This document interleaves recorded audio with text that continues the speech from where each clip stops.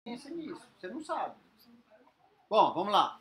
Então, de pré-operatório que a gente tem, não sei se é alguma coisa mais recente ainda, mas a gente tem esses artigos aqui principais. Né? O brasileiro, o americano já está bem velhinho, eu não sei se tem um novo, mas já está bem velhinho. E o canadense aí também no mesmo ano do brasileiro. E o que é que eles falam? O brasileiro falam tudo, muita coisa parecida, né? Que é procedimento cirúrgico de urgência, recomendações para cirurgia de urgência. E aí, isso aqui tem que ser bem claro, né? O papel do cardiologista deve se restringir a medidas de monitorização e intervenções para redução de risco no intra e pós-operatório, não sendo indicado nenhum exame complementar que atrase a cirurgia. Então, na verdade, aqui eu trocaria só o papel do anestesista, certo? Porque o cardiologista não tem essa noção.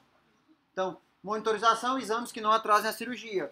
Bom, quais são os exames que não atrasam a cirurgia? É claro que você está falando isso numa condição ideal. O paciente decidir. O ideal é que a gente tenha a noção de um eco peri-infarto, né? Peri-infarto porque foi infarto há pouco tempo, mas peri-operatório, né? Então, basicamente, eu queria mostrar isso aqui desse, desse, desse algoritmo. Então, otimização cardíaca, exames rápidos, provas funcionais não indicadas, né, não, vão, não vão agregar valor. Então, só chamar a atenção para vocês que esse paciente, no caso, ele se encontra aqui, né? Ele tem, fez edema agudo e teve síndrome coronariana aguda a menos de 48 horas, né? Então, realmente, a decisão não é sobre fazer. E, na realidade, mudou até isso aí né, na nossa discussão discutiu que também é sobre fazer no sentido de ver se realmente tem uma indicação cirúrgica, né, dado aí a mais para a gente melhorar a nossa prática. Mas sobre como fazer, né? E a primeira coisa, esse slide é um pouquinho pesado, e eu desmiucei, no, apesar de um trabalho antigo, mas é um trabalho que avaliou dados fisiológicos. Então, assim, pode ser que seja um pouco diferente disso, não é muito diferente disso. Me desculpem as letrinhas, mas acho que dá para ver bem. Aqui você tem alguns dados, né? É, L, LV é ventrículo esquerdo, né? É, diástole, é, left end diastolic, é, área diastólica final do VE, fração de ejeção, área diastólica, sistólica, desculpa, sistólica diastólica do VE, sistólica diastólica do VD e as frações de ejeções, tá bom? Então, e aqui o diâmetro da ilíaca. Então, Preste, preste atenção nisso aqui. É um, é um, é um, são slides um pouquinho mais pesados, certo? Bom, P0, pressão abdominal zero, não insuflado. P10, 10, 10 centímetros de água abdominal, 15, com trem e trem reverso, certo? Eu vou ficar analisar principalmente essas três primeiras colunas, para a gente entender um pouquinho da fisiologia o que acontece. Então, ó, opa, desculpa. Quando eu insuflei de 0 para 10 de pressão intraabdominal, houve uma ordenha, das, uma compressão das veias ilíacas. Ou seja, houve uma ordenha do sangue esplânquico pelo pneu peritônio. Então, inicialmente você tem um aumento ali do retorno venoso porque você comprime aquilo, certo? Bom, P0 a área diastólica final do, ou seja, a área diastólica final, só um detalhe que eu esqueci de, só para conceituar, é importante ter noção do conceito. O que é que é pré-carga? PVC é pré-carga? PVC é pressão, pré-carga é volume. Então, aqui como eu estou falando de área, eu, aqui a área do átrio direito e do esquerdo diastólica, certo? Me fala, me fala sobre pré-carga. Então, de P0 para P10, houve um aumento da área diastólica final do, do ventrículo esquerdo e do ventrículo direito. As áreas dos ventrículos aumentaram, então eles estão mais cheios. Ok? Então aumentou a pré-carga. Ok? Aumentou o volume. A área, consequentemente, o volume. Faltou uma dimensão para virar volume, né? Perfeito. Acompanha aqui. Primeiro essa primeira tabela, essa primeira aí. E a fração de ejeção diminuiu. Então, eu tenho um aumento da pré-carga, um aumento do volume ventricular ao final da diástole, mas por outro lado eu tenho uma diminuição da fração de ejeção. Qual que prevalece? Vocês entenderam a pergunta? Olha, eu aumentei o volume diastólico final, mas eu diminui minha fração de ejeção. O que é, que é maior? O que é que, ou como é que fica o débito cardíaco, né? Assim, nesse aspecto. E aí, o que é que prevalece? O aumento da pré-carga ou a diminuição da fração relativo a como é que fica o débito cardíaco. Vamos lá, mais conceitos. Olha o que acontece. Pressão arterial, de P0 para P10. Houve um aumento da pressão arterial, nada diferente do que a gente vê na prática. Certo? Acho que os R3 já viram esses slides, né? Já. Não, viram não? Sério? É que eu acho que eu gastei tanto esse slide que eu parei de mostrar um tempo. Hã? Bom, então vocês têm um aumento da pressão arterial, certo? Então, temos aqui essa equaçãozinha simples. Pressão arterial é igual a vezes resistência vascular sistêmica. Vocês me disseram na hora da discussão que a resistência vascular sistêmica sobe por um processo ali de, de descarga simpática. Vocês sabem na prática que a pressão arterial sobe. E o débito cardíaco? Por quê?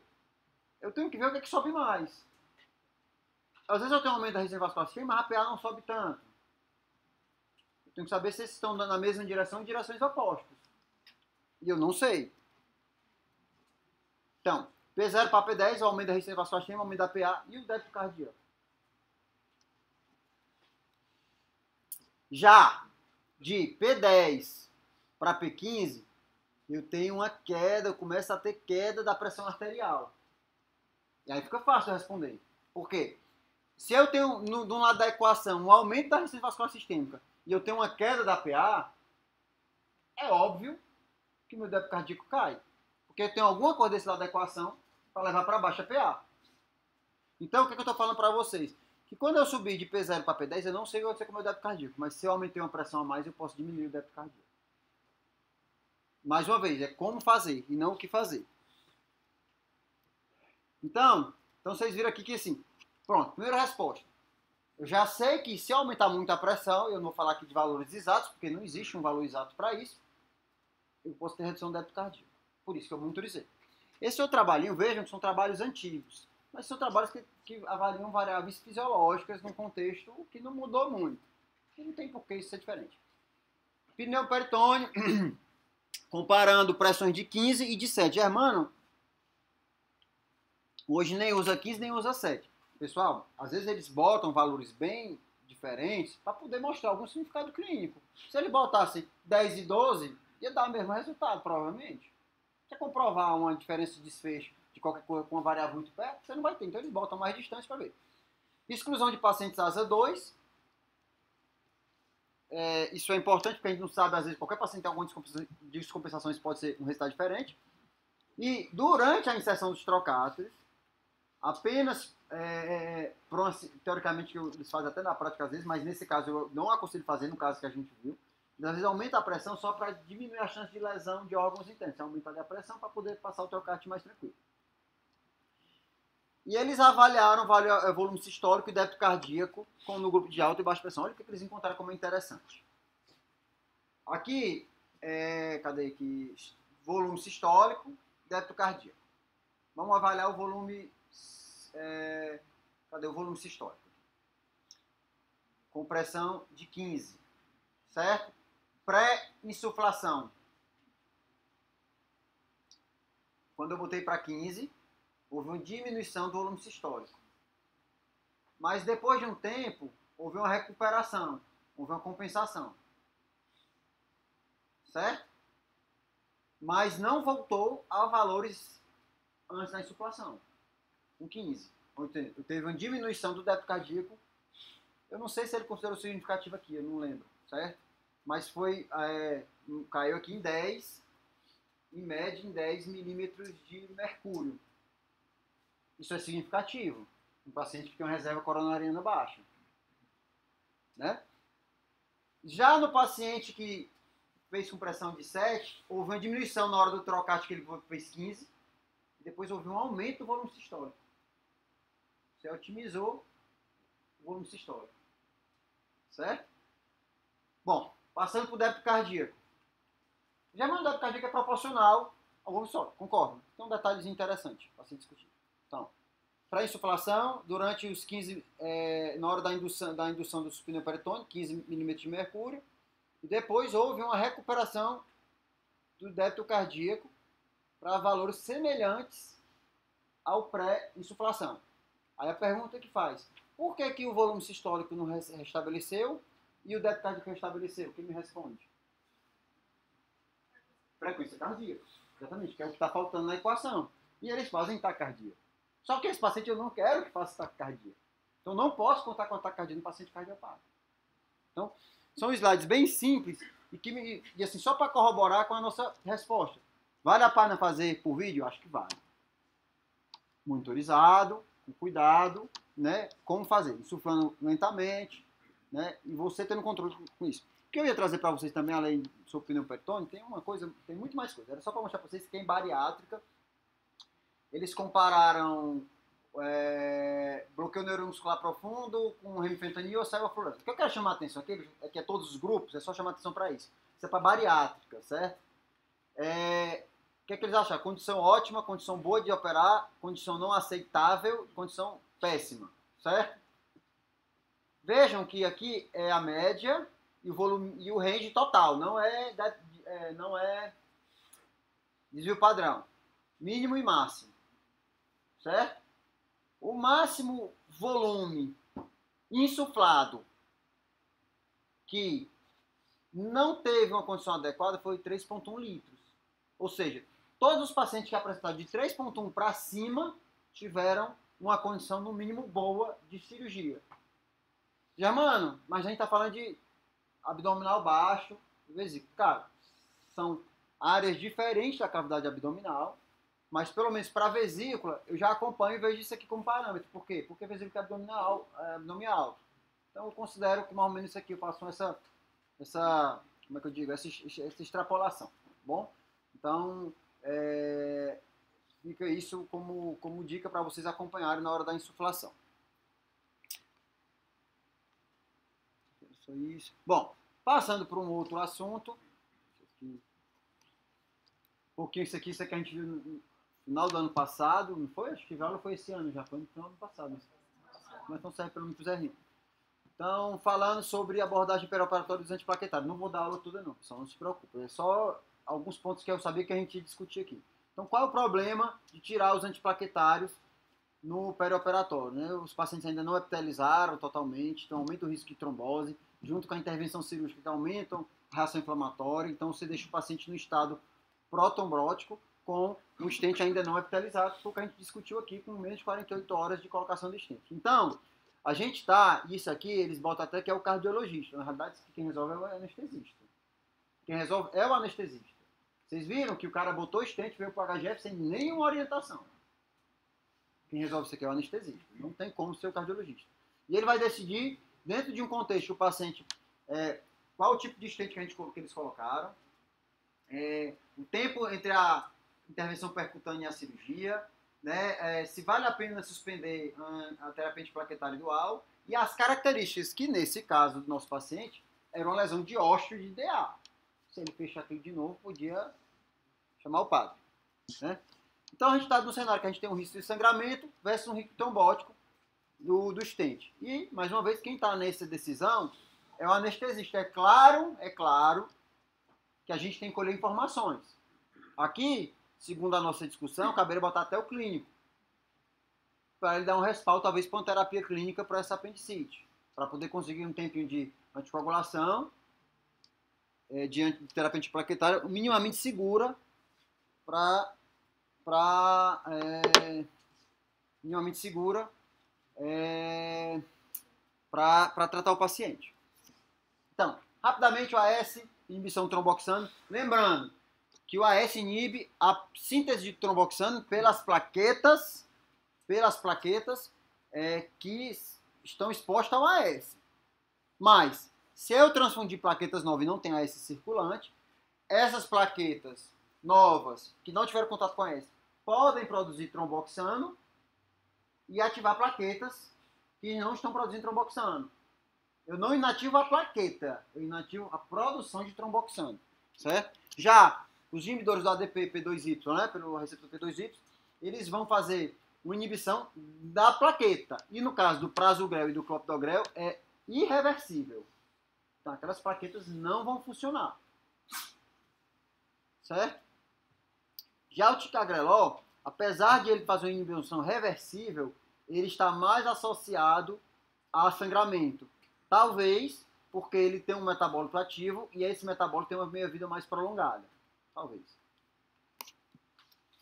Então, esses são os tempos que você já conhecia, que a gente discutiu na hora do balão, duas semanas. Ou seja, o balão, para esse caso, não resolveria totalmente. é, estente convencional, estente farmacológico, estente com, no, no contexto da síndrome coronária aguda, que é o pior.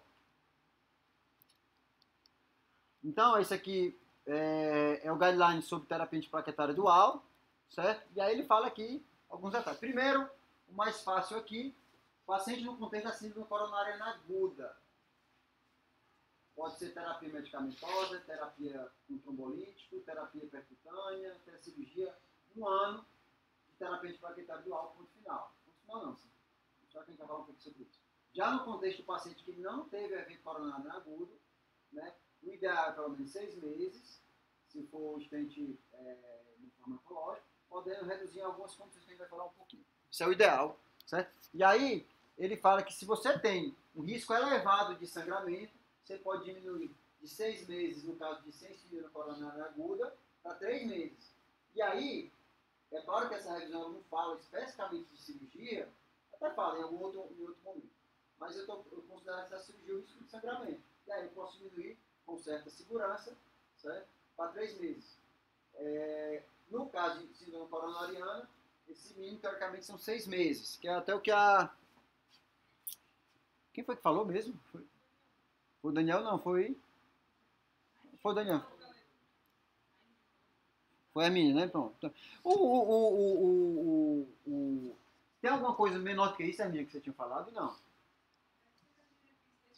Eu não vi a desse ano. Ah, então não vi a desse ano. Então diminuiu mais ainda.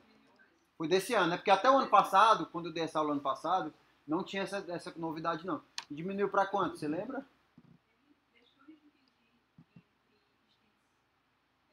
A, a europeia já juntava tudo no mesmo pacote.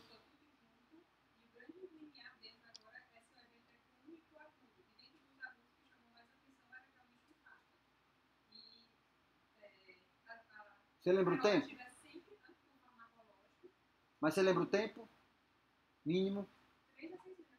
É, vai ser a mesma coisa que eles falavam aqui. Então aqui, ó. É, o nível vai diminuindo. É, tá aqui, ó. Aqui, ó. Sem síndrome coronária aguda. Seis meses, aquela história, diminui para três meses, com nível de 2A e 2B é, para um mês. Certo? Isso aqui é a europeia de 2018.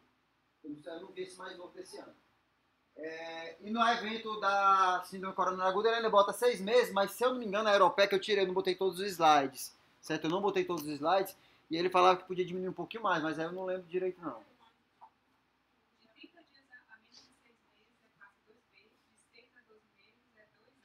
No, no, qual, no evento agudo.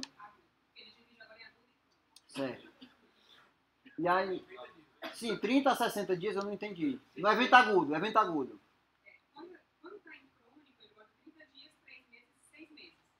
É a mesma coisa aqui, ó. É a mesma coisa, ó. Aqui, ó. No agudo, ó.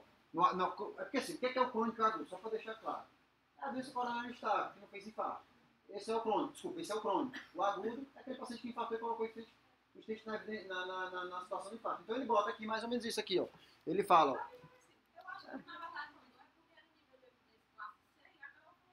É, então pronto, você cai para três meses ou um mês. Agora a minha pergunta no agudo, caiu para quanto?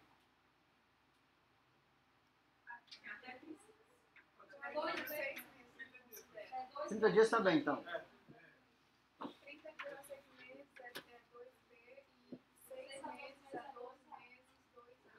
Então pronto, então na realidade ficou quase igual. Não, mas é porque no agudo, pessoal, eles falavam que era assim, contraindicação total você diminui menos de seis meses.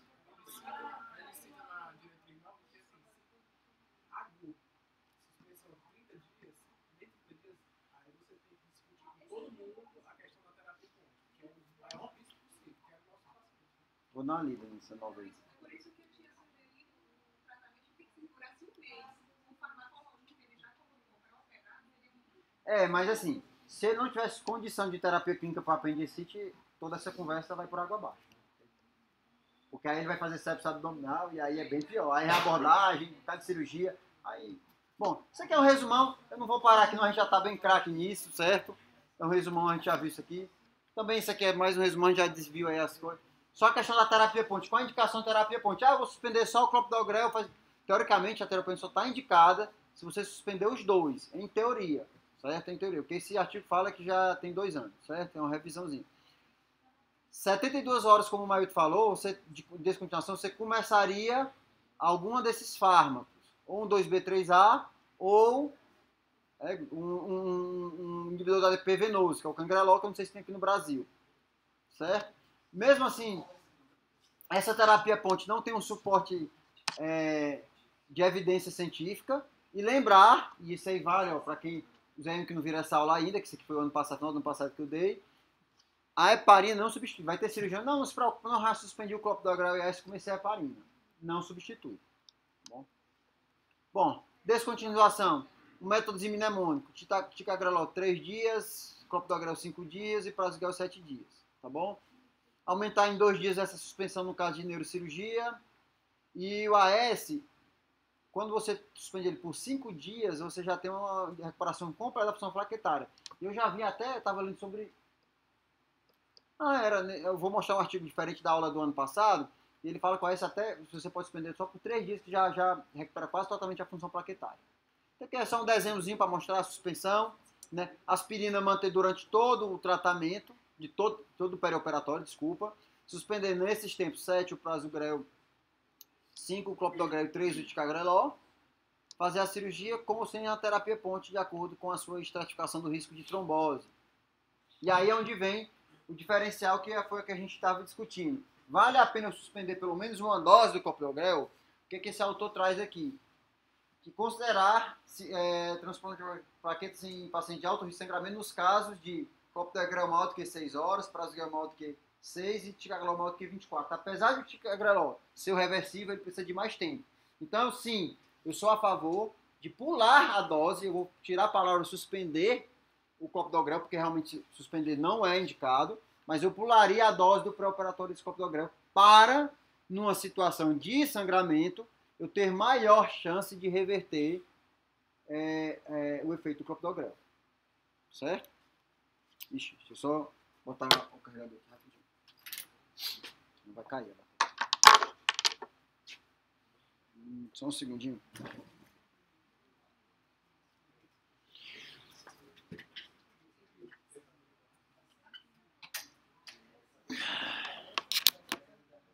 Perfeito.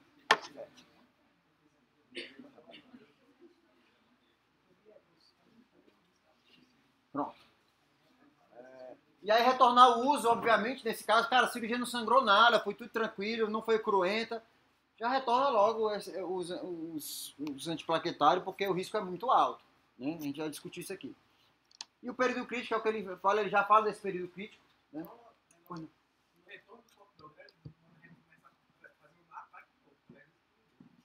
Mas aqui é. No, quando você parou os, os dias tudinho, né? Certo. Perfeito. Interessante, não sabia disso. O período crítico ele fala que é um período realmente que agora mudou, que é 30 dias para todo mundo, né? Bom, e aí tem a cirurgia de urgência. Pessoal, é, por exemplo, isso aqui trata, tá até discutindo com o Davi um caso aí, e se ele entrar logo de voador em algumas situações com risco de sangramento ou se ele esperava. E ele mesmo fala, por exemplo, vou dar um exemplo do meu dia a dia. Por exemplo, antifibrinolítico para a cirurgia do fêmur, artroplastia de quadril. Todo trabalho fala que tem benefício. Cara, mas na minha prática não sangra essa cirurgia. O que eu trabalho não sangra, não sangra. Eu vou ficar usando um antifibrinolítico para diminuir de, de 100 para 50 ou de, sei lá, 300 para 150 o sangramento? Cara, eu não vou. Porque é um paciente que tem um risco de trombose e. A gente sabe que são medicações que puxam a balança para esse lado. Então, eu não uso de rotina, não estou falando que eu estou certo, eu estou querendo defender que eu estou certo. Só estou falando para vocês esperar e ver. Eu não vou começar logo com uma medicação, uma tensão de plaqueta nesse caso. Eu vou esperar e vou ver. Se sangrar, eu faço. Agora eu reservo a plaqueta. Tração de plaquetas, o AS, reversão rápida, só falar aqui, duração até 8 horas. Então, se você conseguir suspender pelo menos umas 8 horas de antecedência, seria o melhor. E a reversão com plaquetas é mais fácil. Do AS, depois Coptogrel, Prasugrel e Ticagrelol, nessa ordem, tá bom? E esse é um trabalho que eu vi eu fui tentar achar alguma coisa nova e não achei, eu não vi realmente esse, esse. Eu até botei, cara, engraçado, não apareceu. A única que eu achei novo foi esse artigozinho que não é tão novo, 2015, mas ele mostrou aqui um detalhe interessante para a gente ficar com cuidado, ter cuidado. Nessa figura B aqui, são pacientes tratados com inibidores do ADP. E aí eles botaram um ativador do ADP, da vida do ADP das plaquetas, e viram o que acontecia. Obviamente, só os pacientes que não usavam, o que é o controle, nenhum antiplaquetário, o sangue dos pacientes, que tiveram ativação pelo ADP. Os outros não tiveram ativação. Quando eles misturaram as plaquetas dos doadores a um plasma rico em plaquetas dos, de pacientes que usavam inibidores, você teve uma recuperação da função plaquetária em pacientes que usavam prasugrel, clopidogrel e controle, menos o ticagrelol. Então, realmente, o ticagrelol, isso é um trabalho in vitro, mostrou que realmente tem a maior chance de sangramento nesse trabalho in vitro, tá bom? Então, se você tiver sangramento, você vai realmente fazer tudo possível, começar, obviamente, pelas plaquetas, sabendo do risco de não resolver o problema. Bom? Então, você vai usar todo o armamento aí para...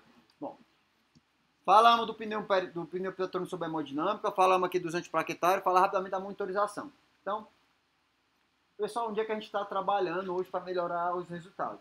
Em paciente de alto risco.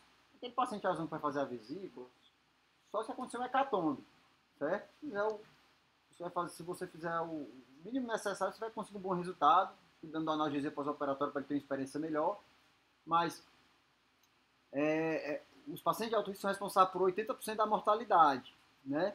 E em grande cirurgia você tem um aumento do VO2 importante, o que pode botar em xeque se o paciente tem uma baixa reserva é, cardiorrespiratória, né? Bom, isso aqui eu falei, é, é, até falei numa aula há pouco tempo, não sei se eu botei, chega, botei esse slide numa aula há pouco tempo, conteúdo da artéria de oxigênio, que é função principalmente da HB e da saturação de oxigênio. Né? Então, eu tenho isso para mexer no paciente. Quando eu falo em DO2, eu tenho um débito cardíaco, que eu posso repor com volume de drogas, eu tenho oxigenação, que normalmente não é um grande problema que eu tenho no meu dia a dia, os pacientes vão para a cirurgia tem pulmão bom, normalmente, e transfusão. É o que eu posso fazer. Mostrei esse slide só para mostrar aqui para vocês que a, a saturação venosa no seio coronariano é de 37, então tem uma taxa de extração de em torno de 60%, uma taxa de extração bem grande.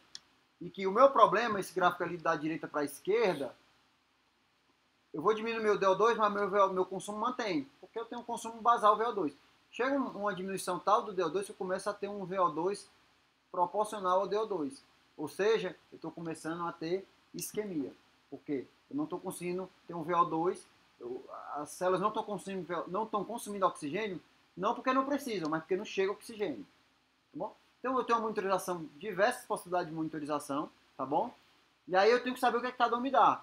Linha arterial, pressão arterial média. Linha arterial com é, variação de pressão de pulso, né? Responsividade. A pressão arterial média pós-carga. É, teste de elevação da perna. Responsividade a fluidos. É, débito cardíaco não calibrado, contratilidade e fluxo. Tá? Opa, desculpa. Calibrado, mesma coisa. E você consegue até ter é, avaliação da pré-carga, que você tem aquele a, volume diastólico total, né? E o cateter arterial que você tem uma função mais completa da coisa, certo? Então você vai ter tudo isso para você escolher. O problema, isso é um interessante. Vocês devem, vocês forem fazer pesquisa sobre isso, sobre ah, terapia guiada por metas e tal, é muito bom, muito legal. Mas, já, mano, os últimos trabalhos às vezes não mostram tanto benefício. Qual é o problema de se mostrar benefício desde o trabalho de Rivers lá em 2001? A gente aprendeu com esse trabalho. Então, mesmo se você vendar você, você não tiver nenhum flow track, nenhum. Você vai saber que você vai ter que manter uma pressão arterial melhor. Você vai saber que você vai fazer um volume mais adequado para aquele paciente. Você sabe que você vai fazer 10, 12 ml por quilo hora. Você aprendeu com isso. Então, mesmo que você não tenha, às vezes, uma monitorização de última linha, você vai fazer próximo do que tem de melhor para esse paciente, porque você aprendeu. Então hoje, aí o que acontece? Teve um trabalho lá que eles não viram uma melhora no, no resultado. Aí eles foram avaliar não o grupo controle e o tratamento, mas eles avaliaram quem atingiu as metas e quem não atingiu. E teve resultado significativo. Entendeu? É a mesma coisa dos beta-bloqueadores, que na época, ainda que eu era residente, Tava na moda pra caramba usar beta-bloqueador pra todo mundo é, no, pré, no perioperatório. E o pessoal começava valendo, certo? Aí eles viram que aumentou até a chance de hipotensão e, e, e AVC e tal. E aí, é, o que, que eles foram. Em vez de separar por grupo tratamento e grupo controle, eles separaram por meta, ou seja, por, por, por não ter hipotensão, por ter frequência cardíaca controlada, mas eles viram que tiveram benefício. Então, é uma maneira diferente de avaliar isso aí certo? Está acabando. Aí os 5 T's do perioperatório, então você tem que ter a população alvo, o tempo de intervenção, o tipo de intervenção, o alvo e saber se a validade desse valor que você está avaliando é adequada. Então, população-alvo, paciente de alto risco ou cirurgia de alto risco, ou os dois. Tempo da intervenção, você tem que, realmente você tem que temporizar no sentido de você, não adianta ele sangrou daqui a, no dia seguinte você vai repor volume, acabou-se. Né? Então comece, seja precoce. Então na hora do, do pneu pertônio, insuflar lento, se cair, você ser mais, como o Felipe tinha falado, ser mais rigoroso. Né? Tipo de intervenção, se eu vou fazer droga, inotrópico, vasopressor, o alvo, e aí o alvo dessa paciente, realmente ele tem o alvo de pressão arterial média, para mim, ser no mínimo 70 no mínimo, para bater o centro. Porque ele tem que ter perfusão coronariana. Não existe isso, obviamente, matematicamente falando. Mas hoje sabe-se que 10 minutos com pressão abaixo de 65 de média aumenta o risco de infarto perioperatório. 10 minutos, tá bom? E o alvo é saber, como não é calibrado, você entender que muitas vezes vale a pena você seguir mesmo, tipo, uma queda de 4 para 2.8 ou foi 2.5 de débito cardíaco é significativa. Por mais que esse 4 não fosse exatamente 4 e esse 2.5 seja exatamente 5. Você teve alteração na curva que mostrou uma redução do débito cardíaco significativa. Então, terapia guiada por objetivo, né, por, ah, por objetivo, reduz mortalidade. Aí o que alguns autores falam, ah, será que não aumenta a complicação? Como assim? Pô, eu vou tacar dobuta no paciente tem necessidade, ele não vai fazer arritmia? Vou fazer muito volume nesse paciente, ele não vai encharcar? Né? E aí o que essa resolução trouxe foi que é, realmente diminuiu as complicações cardiovasculares, arritmia. E ele sugere nesse trabalho que há um benefício maior até quando você faz metas supranormais. Mas tem outros autores que falam contra isso. Esse aqui é da nossa revista. Né? Ele não avaliou catéter arteriopulmonar, ele avaliou 50, 55 estudos randômicos com, com várias modalidades. Redução significativa dos riscos de complicações, em torno de 30%. Redução da.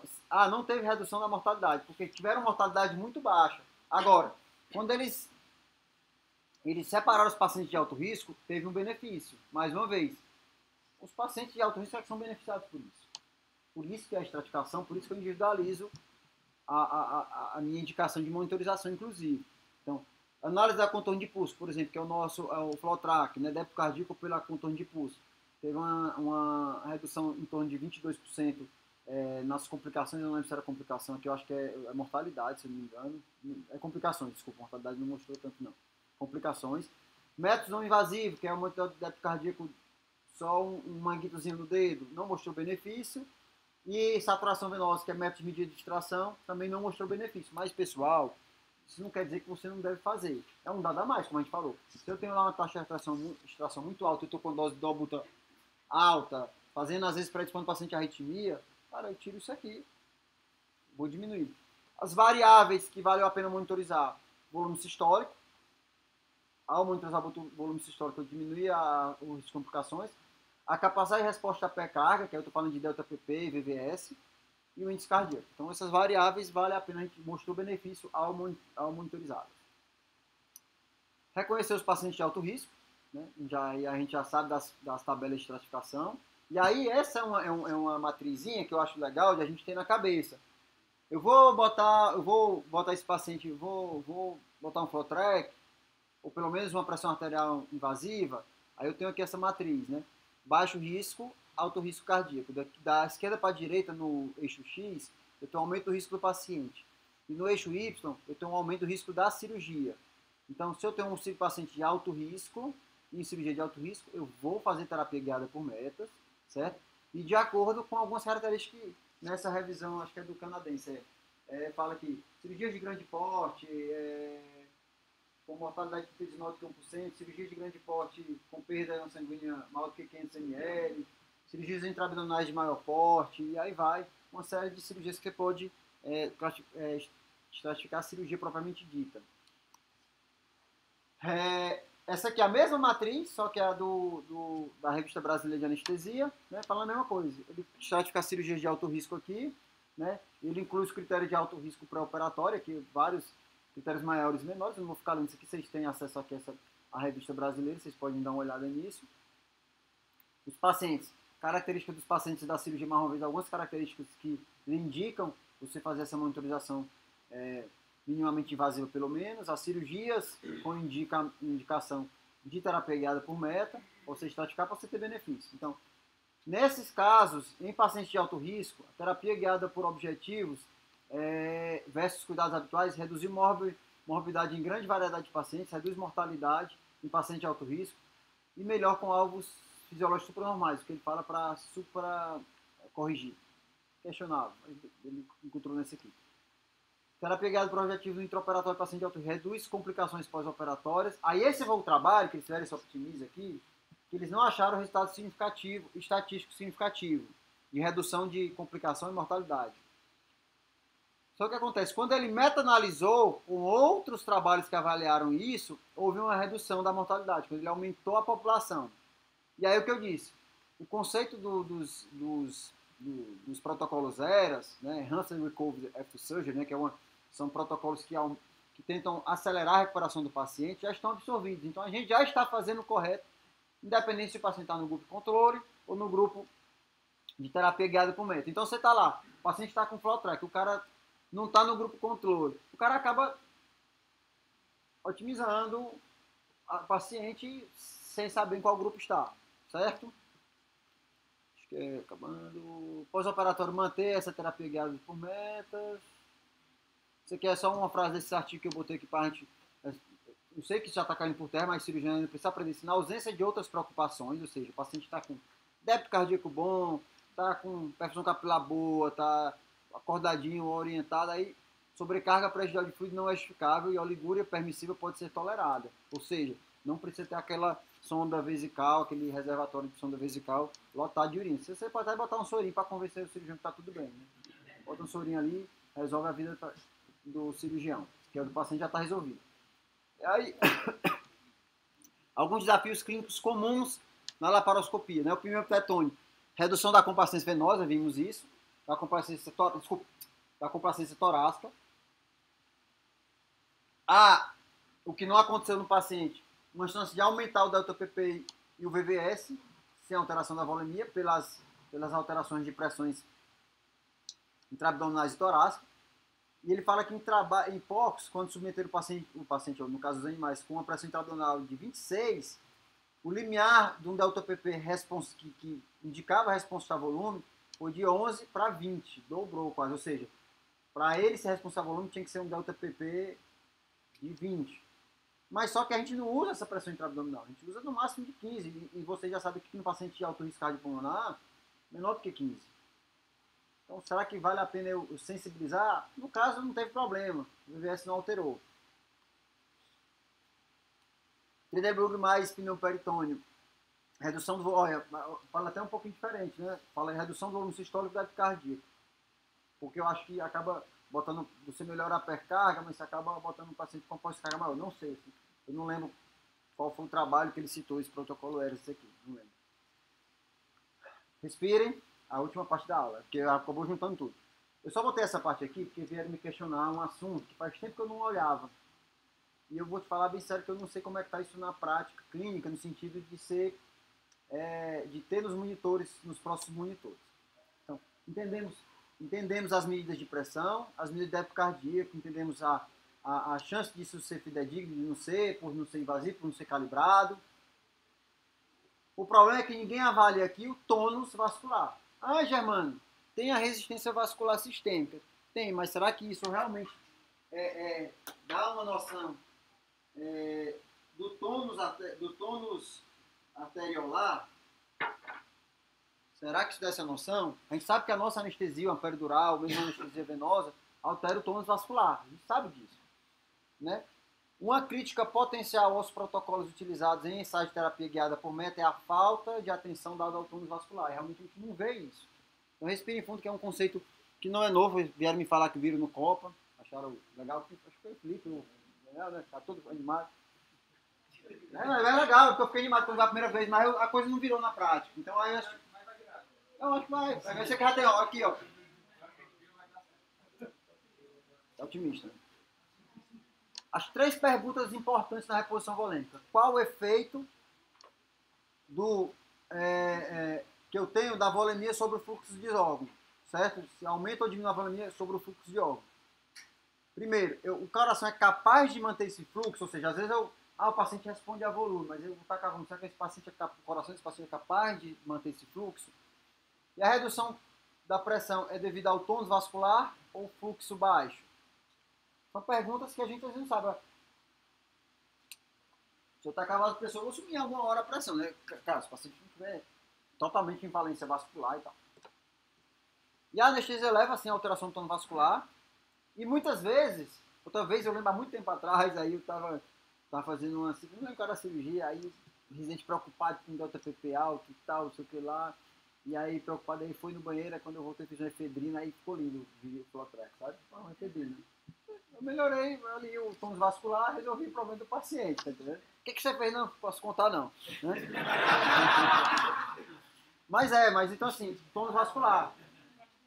Hã? Vai estudar e depois... Não, eu falo.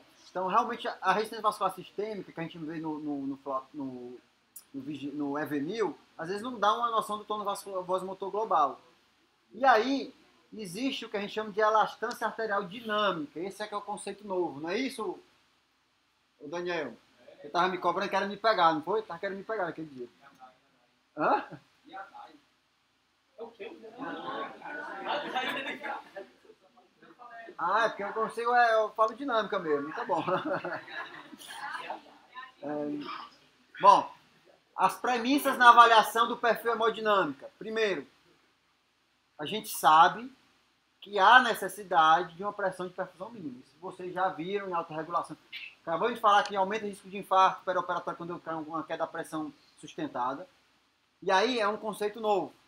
Novo, assim, talvez é, assim, para entender. Existe uma coisa chamada acoplamento arterial ventricular. É, o que, que acontece quando o paciente começa a ter, tá ter insuficiência cardíaca? Ele começa a ter vasoconstrição, porque ele não consegue manter aquele débito para manter a pressão de perfusão. Mas você começa a ter um desacoplamento, ele começa a ter cada vez mais vasoconstrição, e aí acaba forçando mais o coração e você pode entrar num ciclo vicioso. Então esse acoplamento a gente vai entender o que, que é. E a elastância, lembrem-se, só para vocês também, é pesada essa parte da aula. Eu não quis botar no começo porque não era mais importante, tá entendendo? Mas é mais pesada. Elastância é ao contrário de complacência.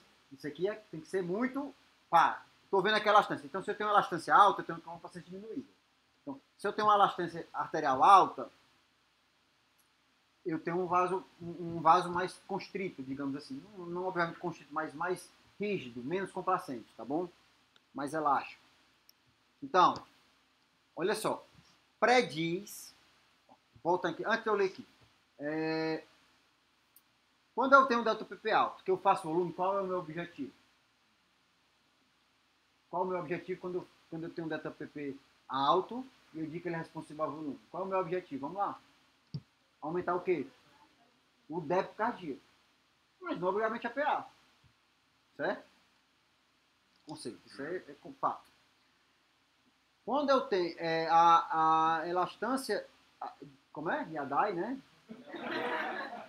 Prediz a resposta da pressão ao desafio hídrico e ao ajuste das duas vasopressores. Então, se eu tenho uma elastância alta, e eu tenho um delta PP alto, se eu fizer volume, eu tenho chance maior de aumentar a pressão, não só o débito cardíaco.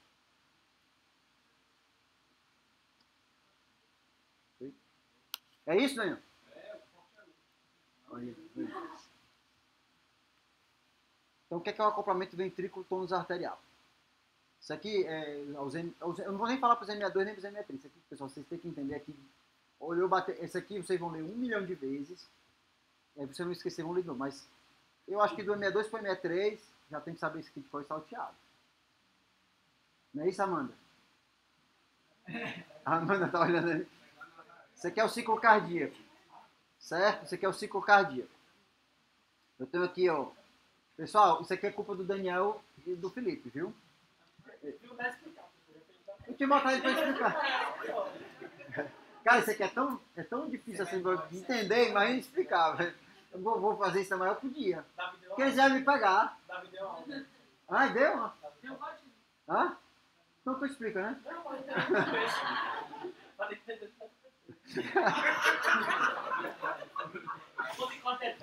olha, o que. Se vocês saírem daqui, às vezes não entendem direito isso, mas sabendo que isso existe e depois procurar entender melhor, vale a pena. Só seja alguma coisa. Então aqui, eixo X, volume. Eixo Y, pressão. Então aqui, aumento do volume ventricular é na diástole. Diástole. Eu tenho um aumento da pressão sem alteração de volume. Contração isovolumétrica. Sístole é ejeção, né? Sístole isovolumétrica, contração isovolumétrica, contração é, ejetiva, né? De ejeção. Aí eu tenho aqui o fechamento da, da válvula arterial, tá as duas fechadas, eu tenho relaxamento isovolumétrico. Esse ponto aqui, que corresponde à, pressão diastólica, é onde ele fala, esse autor aqui fala que é o acoplamento ventricular e arterial. Se eu tenho uma dilatação arterial, eu vou mexer nesse ponto. Se eu tenho uma, uma alteração na contração do ventrículo, eu vou ter alteração nesse ponto aqui. Certo? Conceitos. Então, é a razão entre a elastância arterial e ventricular, que eles chamam de EES e EA. A elastância ventricular, na realidade, é a contratilidade intrínseca. Então, se, eu passe, se, eu, se ele contrai bem, ele tem uma elastância boa, uma elastância alta. A elastância arterial, na realidade, é pós-carga e a capacidade dos vasos arteriais de aumentar a PA quando aumenta o volume sistólico. Então, se ele tem uma elastância aumentada, ele vai aumentar a PA. Se ele tem uma elastância diminuída, ou seja, uma complacência alta, ele aumenta o volume ali, mas ele não aumenta a PA. Considerando que há uma compatibilidade, um, como é que ele chama, um acoplamento da, da elastância ventricular e arterial, é para ser igual. Certo? E aí eu tenho uma alta eficiência ventricular com trabalho e consumo de O2 mais adequado. Certo? Eu vou voltar para esse daí aqui só para mostrar esse cálculo aqui, não era a hora não do cálculo. É pesado. Tá Disfunção cardiovascular. É, essa tá parecendo a aula de eco. Quando eu, a aula de eco que eu dei a completa, os R 3061 ainda, não era? Ou não, não tinha nem entrado. Não, foi 2019. Tinha não, né? Eu tinha acabado de fazer o curso de ECA, aí vou fazer uma aula. Aí eu comecei uma aula duas, três horas de aula, sei lá. Quando, quando chegou na metade da aula, a galera já não mais entendendo nada. Aí eu perguntei, eu tenho que terminar, que eu comecei, mas assim, a vontade era... Mas vai dar certo. Então, o conceito é para vocês entenderem, no final vocês vão, é bem simples, certo? É o que o Daniel falou, é um, né? É um, é um. Existe uma ciência atrás desse um, né? É, então a razão, quando eu tenho uma razão alterada, ou seja, quando a, a elastância arterial não é diferente, é diferente da ventricular, eu vou ter um desacoplamento. Né? Se é maior do que 1, um, menor que 1. Um. Então, se eu, se eu aumento a elastância arterial, eu tenho um aumento da pós-carga. Certo? Aí eu vou deslocar isso aqui, às vezes, lá para cima. E aí o ventrículo não consegue acompanhar, ele vai ficar dilatado. No caso do paciente com ICC, tem uma diminuição da fração de exceção, que é igual uma diminuição da elastância, ou seja, o coração fica mais complacente, mais dilatado. E aí Nesse caso, para eu melhorar a elastância ventricular, eu vou ter que talvez usar o inopsópico. Mas o que acontece no paciente com insuficiência cardíaca? Ele tem um aumento do tom simpático. Ele faz aumentar a elastância vascular. E aí é por isso que às vezes no paciente com insuficiência cardíaca eu uso um vasodilatador para acoplar. Aquele paciente que infartou, você não está usando tridil? Tridil? Às vezes usa até o niprid para fazer esse acoplamento. Porque aquele coração não está bombeando, ele não está aguentando. Aí você você diminui a elastância arterial para você acoplar o ventrículo e a artéria, certo? Vocês aí estão tá pensando o que, é que eu vou fazer isso na prática, né? Bom, é isso aqui. O cálculo da elastância dinâmica arterial, delta TPP sobre o VVS. Por que, que eu dei essa volta toda? Porque a primeira coisa que você falar que eu calculo é isso aqui, você fala, ah, mas é para ser igual. É para ser igual. É para ser igual. Mas quando não é, quando é maior do que 1.06, não é 1 não, é 1.06. Viu? Só para Estou brincando. Então, esses autores aqui identificaram que pacientes que têm uma elastância arterial dinâmica maior do que 1,06, ao fazer volume, ao fazer o desafio hídrico, respondiam com aumento da pressão. E aí, o fim da coisa. E aí, dei essa volta todinha para isso, que é para vocês entenderem. Aqui, ó. O paciente está hemodinamicamente estável, Se sim, ok, segue o jogo. E às vezes você fez uma peridural e está usando vasopressor e está mantendo a pressão, ok, está estável. Se não for uma dose de 2 microgramas por quilo, minuto de, de noradrenalina, está estável. Você fez um aramin, você fez um efeito, deixou uma norazinha em dose baixa, está estável. Se não, o paciente responde a volume, ou seja, tem um delta PP, um VVS alterado, aumentado, pode ser sim, pode ser não. A próxima pergunta já não é fazer volume ou não. Esse paciente tem uma redução no tônus vascular, olha que eu já dividi, em vez de ser sim ou não, só já tem quatro respostas. Bom, se eu tenho um paciente com responsivo a volume, mas que tem um, e, e, tem, e tem um tônus vascular diminuído, ou seja, uma elastância dinâmica diminuída, menor do que 1, além do volume eu posso fazer vasopressor. E aí, efedrina. Se eu tenho um paciente que é, responde a volume, mas não tem um tônus vascular diminuído, aí eu faço só volume. Interessante, né? Interessante. Se o paciente não responde a volume e tem um tônus vascular diminuído, né? não responde a volume e tem um tônus vascular diminuído, aí eu vou fazer só o, o vasopressor, que tem um tônus vascular diminuído. Mas eu tenho que fazer uma pressão, né? Se eu tenho, não responde a volume e não tenho um tônus vascular diminuído, aí eu vou fazer própria. Então é uma, é uma individualização a mais e eu sempre fiquei em dúvida, porque assim eu ficava, pô, mas a minha, minha anestesia altera a, a complacência vascular. Né? Aí onde é que vai o DTPP? E aí esses caras começaram a publicar tem um tempo, certo? E aí quando eu vi isso eu achei bem legal. Só que até hoje, o que, que acontece na prática? Os monitores não, não trazem esse dado pra gente. E aí parece que agora, no, na nova plataforma aí do, do, do da, da Edward Life Science, vai trazer a elastância dinâmica. Então, se ela trouxer e for, e, e for no dia a dia, além disso, tem outro, Delta, é, o PGT e tal. Vamos entrar no método, não quer, não quer falar? Tá ansioso, pode falar.